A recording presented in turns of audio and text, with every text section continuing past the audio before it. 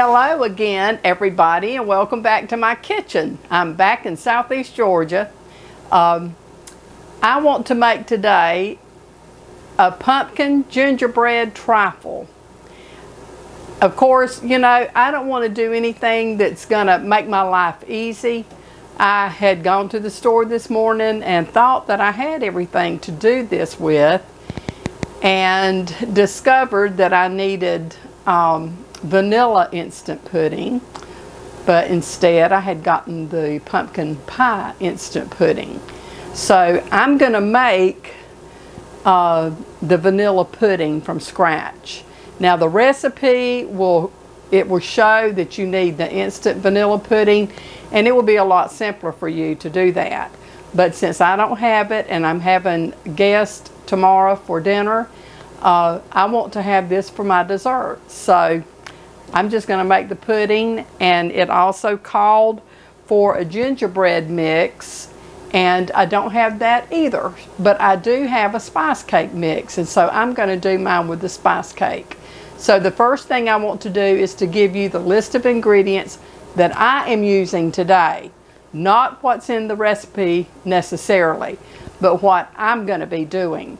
So let's get started and get this put together. I will be using eggs, water, vegetable oil, spice cake mix, pumpkin pie mix, brown sugar, ground cinnamon, granulated sugar, frozen whipped topping, ginger snap cookies, cornstarch, salt, vanilla extract, ground ginger, and crystallized candied ginger. Okay, the first thing that I'm going to do is to get my cake in the oven for this. Uh, I have the oven preheating to 350 and I have my cake mix. I'm going to follow the directions for the cake mix on the back of the box. But I also am going to add a little extra to my cake mix. I don't know how it will turn out, but I am going to add some candied crystallized ginger to my mix as well as some additional ground ginger. So I'm going to get started with this. I think I'm going to add um, about a half of a tablespoon of ginger, ground ginger to my mix.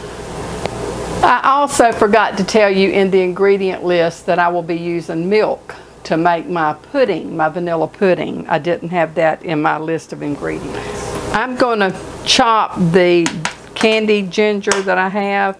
I just want it chopped up into small pieces.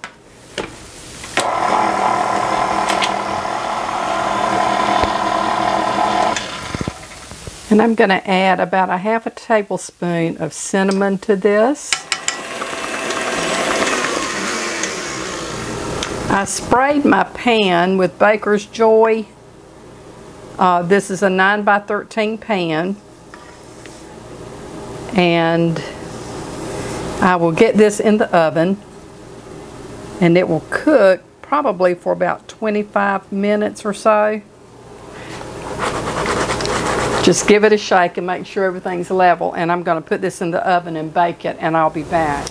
Okay, now I'm going to make my vanilla pudding and so I put my granulated sugar, my cornstarch, and a fourth teaspoon of salt and two and a half cups of milk.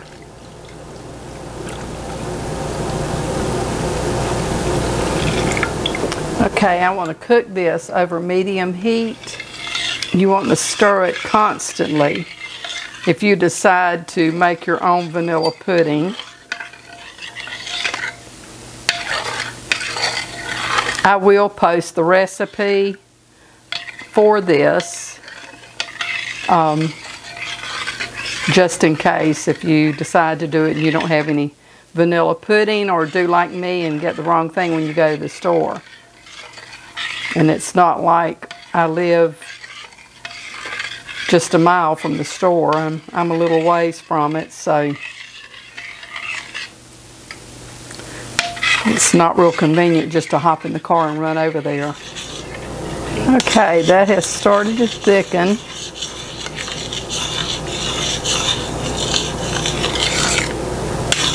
So now I will add my vanilla to this. Set it off the heat. And I will add one and a half teaspoons of vanilla.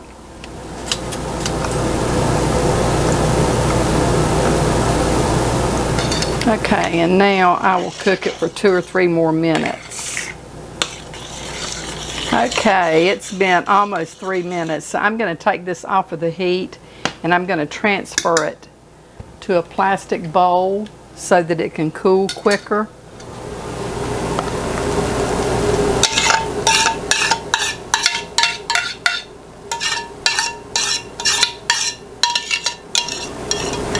I'm going to set this in a pot of ice water to try to cool it down.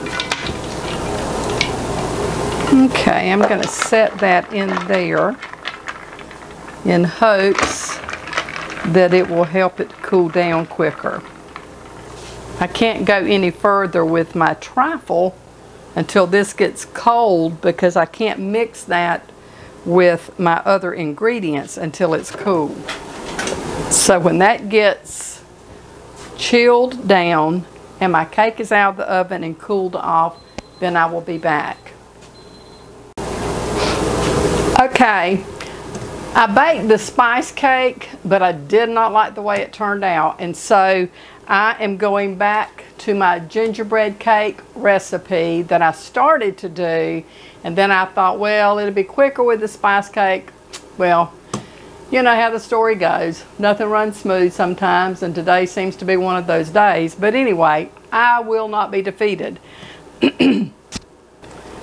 For the gingerbread cake, you will need all-purpose flour, baking powder, ground ginger, ground cinnamon, ground cloves, salt, baking soda, grandma's molasses, hot water, granulated sugar, butter, two large eggs, vanilla extract, and a baking spray.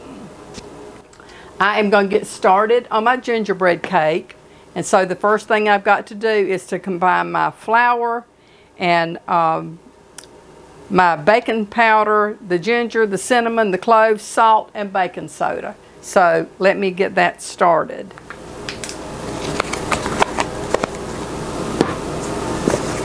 I should have done this to begin with. But like I've said before, live and learn, die and forget it all. That is becoming my greatest motto. Okay, now I'm going to whisk that all together. While my oven is preheating, now I will get this all mixed together and get it ready to go in the oven.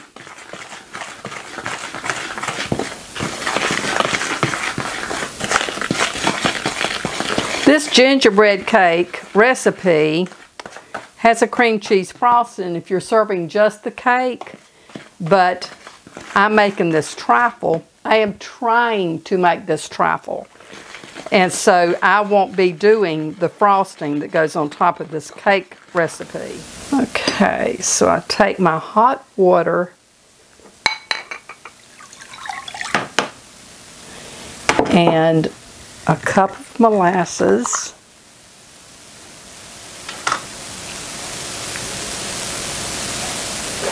and I will pour this in, stir it together until it's fully combined.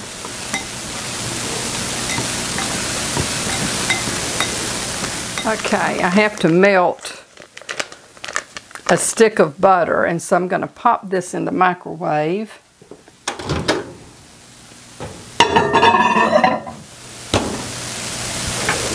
Okay, I'm going to put my molasses and water in with the butter. I'll add the sugar, the eggs, and vanilla.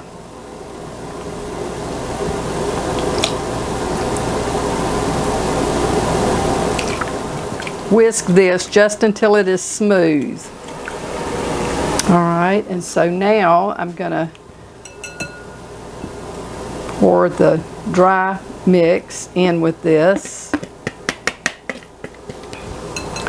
And I'm gonna mix this just until there are no dry streaks left.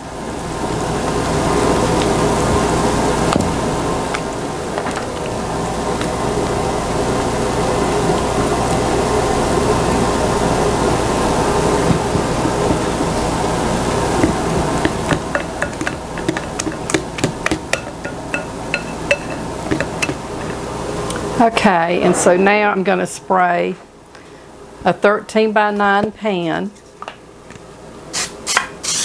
with Baker's Joy and I'm going to pour this into the pan.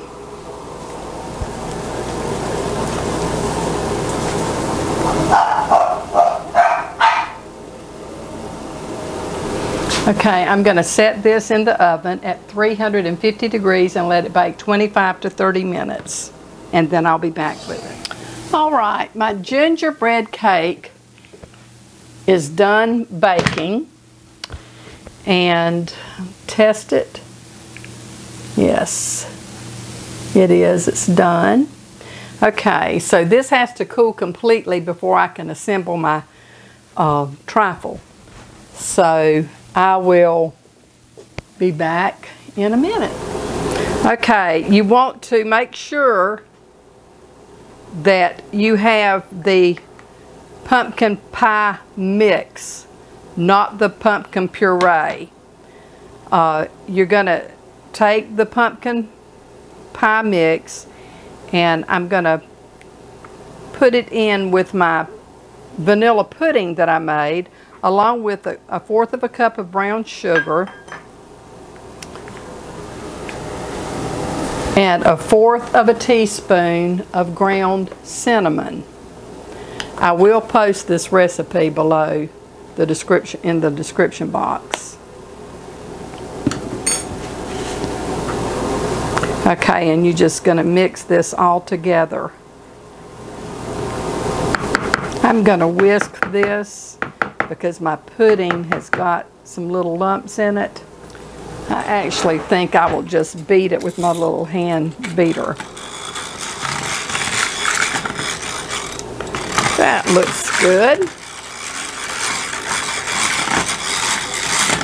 I think that gets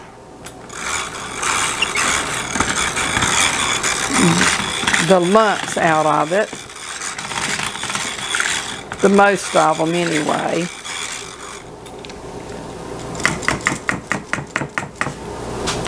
While my cake is cooling, I'm going to set this in the refrigerator and let it chill, and then I'll be back.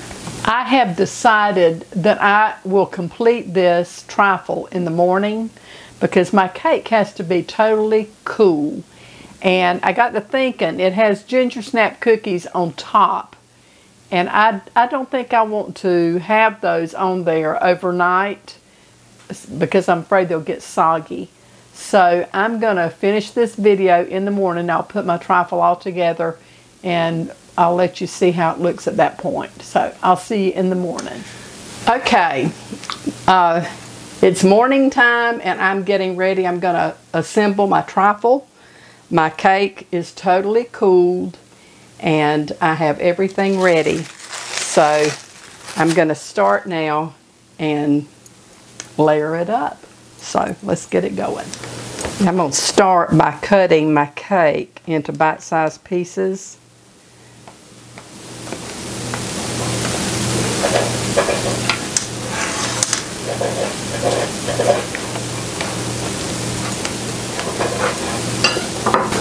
Okay, I'm going to put this in the bottom of the trifle bowl.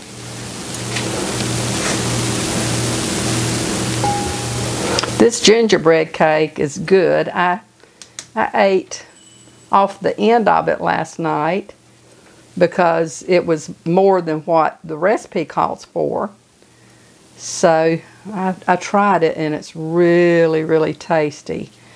So I will also post the recipe for this gingerbread below in the description box along with the pudding that I made. Um, this would not be a complicated thing to make if you get all the proper ingredients that it calls for and not do like me. But anyway, it's okay. It's going to be really good, I think. Okay, and this is my pudding mixture. And I put half of this in over the gingerbread.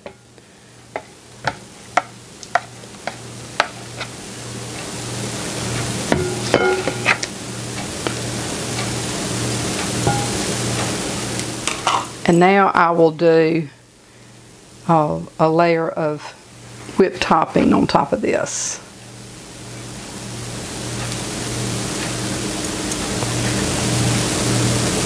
I bet this is going to be so good. I can't hardly wait to try it. It better be good after all the aggravation it's been to make it due to my forgetfulness and stupidity. Well, not really. Not being stupid, just not paying close enough attention to what I was doing about getting the proper ingredients. Okay, and now I'll do the next layer of gingerbread.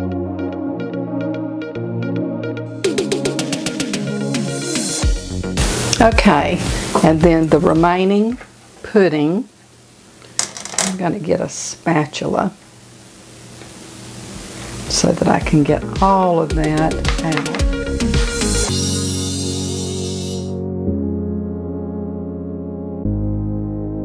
Okay, and then the remaining Cool Whip.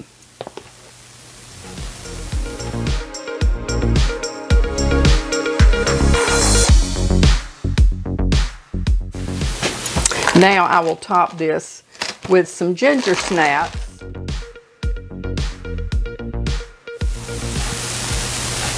Okay, that is so pretty and it looks so good. Okay, my effort is finally completed with my pumpkin gingerbread trifle. This looks absolutely divine and I can hardly wait to try it but I'm not going to dip into it until my family gets here later today. Um, I may do a taste test. I don't know. I can't promise you because it's going to be kind of crazy. But anyway, I just uh, appreciate you watching my video. This concludes it. And if you haven't subscribed, how about subscribing to my channel? Give me a thumbs up if you enjoyed my video. And don't forget to click on the notification bell. Leave me a comment and I'll reply to you. And until the next time, this is Beebah saying, may the Lord bless and keep you and your family safe. And until we see each other again, you take care. But I'll be back really soon with another video. Bye. Okay. My day is over with with my family. And as you can see, do you think the trifle was a success? I think it was. So I'm going to do a taste test for you. I've already tested it, but I'm going to do one for you. So I'm going to dip me up some. And so, here is to you. Pumpkin gingerbread trifle. Mm. Oh my gosh. I'm telling you, I went through an ordeal making this trifle. But I think I'm going to go through the same ordeal again when I make it again because this is so good. Mmm, mmm, mmm, mmm. That is absolutely delicious. I hope that you will give this recipe a try. I'm going to post it in the description box below. I'm also going to post the pudding recipe that I used as well as the gingerbread cake that I made. Now if you want to do the shortcut version, get the gingerbread mix and instant vanilla pudding, that's fine too. But I think when I make this again, I'm going to do it the same way. I'm telling y'all, this is so good. And you can see this bowl was full and it is almost completely gone. So I got great reviews at my lunch table today. And so I'm going to sign off now for real. You take care and I will see you soon. Bye.